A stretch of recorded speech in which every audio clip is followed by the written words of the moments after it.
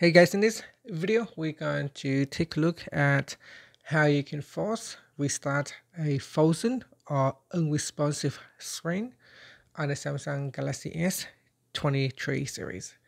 Now, if your phone is frozen or if you play a game and it crashes and you cannot do anything, what you can do is press on the side button plus the volume down key. So press on both keys and hold for around 5 to 7 seconds. So let's do it now. So you can see here if I press on the side and the volume down key.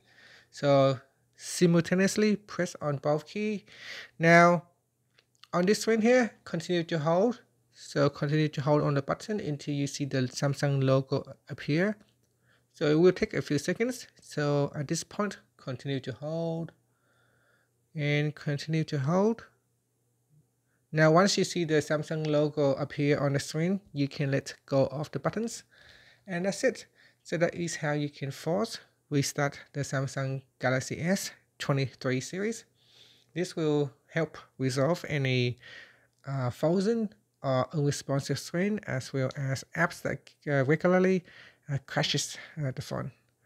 And once you have uh, restart, you will need to pin the phone pin or password to go back to the home screen. And that's it.